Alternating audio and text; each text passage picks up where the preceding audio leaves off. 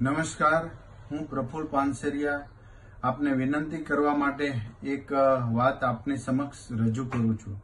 સુરત શહેરમાં કોરોના એ ભરડો લીધો છે ત્યારે એમના ખૂબ દર્દીઓ વધી રહ્યા છે અને આજે હોસ્પિટલની અંદર વેન્ટિલેટર પર અને ઓક્સિજન પર અનેક દર્દીઓ એ સામનો કરી રહ્યા છે.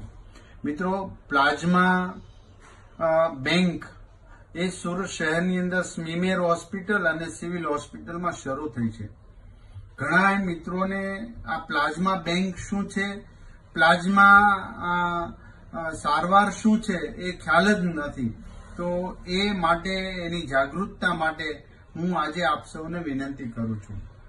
મિત્રો, સુરત શહેરની અંદર સ્મીમેર હોસ્પિટલ અને સિવિલની અંદર આ પ્લાઝમા બેંકમાં દિવસ રાત ડોક્ટર મિત્રો કામ કરી રહ્યા છે, નર્સ અને એમનો કર્મચારીગણ રાત દિવસ આ પ્લાઝમા બેંકની અંદર સારવાર કરી રહ્યા છે.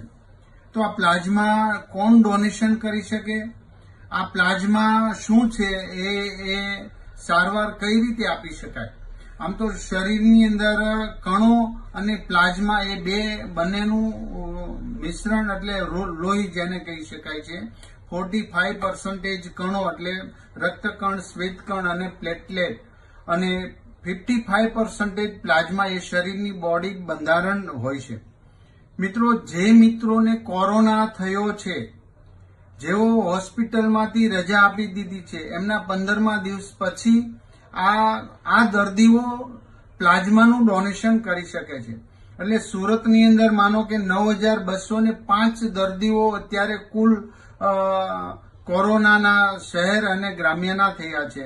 એમાં પાંચ હજાર છસો ને નેવું દર્દીઓને અંદાજે હોસ્પિટલમાંથી રજા આપી છે. તો આ દર્દીઓ પ્લાઝમાનું ડોનેશન કરી અને બીજા દર્દીઓને બચાવવા માટેનો પ્રયાસ કરી શકાય છે. આ પ્લાઝમાનું ડોનેશન કોણ કરી શકે? કે જેમને કોરોના થયો હતો અને પંદર દિવસ પછી જેમને હોસ્પિટલમાંથી રજા આપી છે, એ દર્દીનું ઉંમર અઢાર વર્ષ હોવી જોઈએ.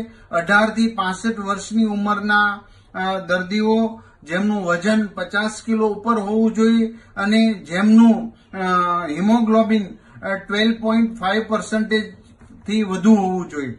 આ દર્દીઓ સાજા થયા હોય એવો એવા લોકો આમનું પ્લાઝમાનું ડોનેશન કરી શકે છે.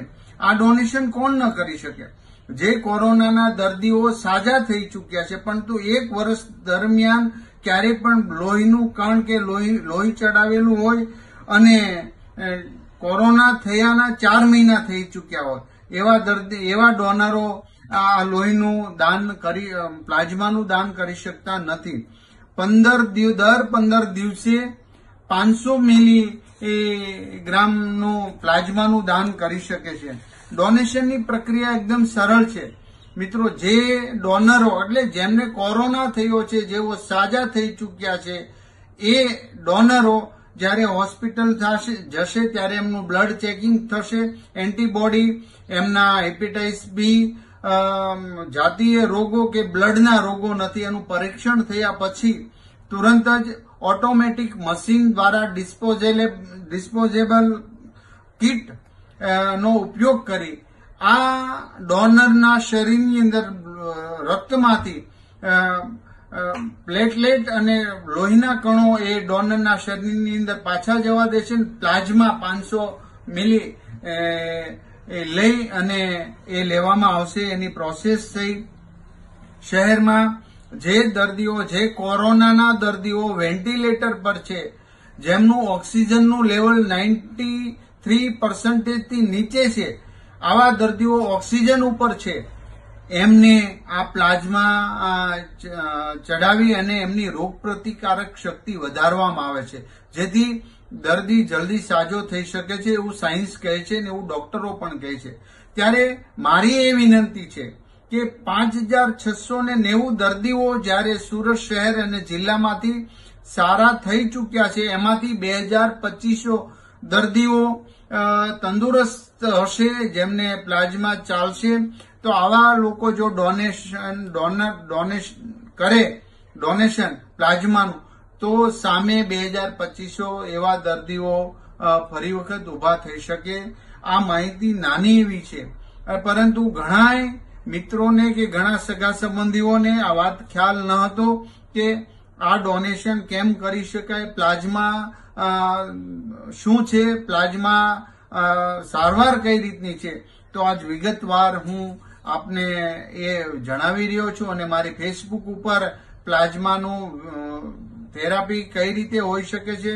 એમનું જે સ્મીમેર હોસ્પિટલ પ્લાઝમા બેંકે બે પત્રો છપાવેલા છે, એ પણ હું શેર કરી રહ્યો છું. ત્યારે આપ સૌને વિનંતી કરું છું કે જે લોકો આ સાંભળે છે, એમને કોરોનાના દર્દીઓ જે ઘરે આવી ચૂક્યા છે એમને એમને આ વાત કહી અને સિવિલ હોસ્પિટલ અને સ્મીમેર પ્લાઝમા બેંકની અંદર આપના પ્લાઝમા ડોનેટ કરો એવી વિનંતી કરું છું અસ્સુ ભારત માતા કી જય વંદે માતરમ सिद्धांत अल्क CAD liquid calcium natural immunity booster India की एकमात्र कंपनी जो F S S A I U S F D A W H O G M P I S O four five double zero one द्वारा प्रमाणित है सिद्धांत अल्क कैड में calcium, vitamin D three, magnesium है, जो अल्कलाइन, एंटीऑक्सीडेंट, नेचुरल एंटीबायोटिक है, और ओआरपी संतुलित करता है, जो इम्यूनिटी बढ़ाने में एवं 70 से भी ज़्यादा बीमारियों में सहाय करता है।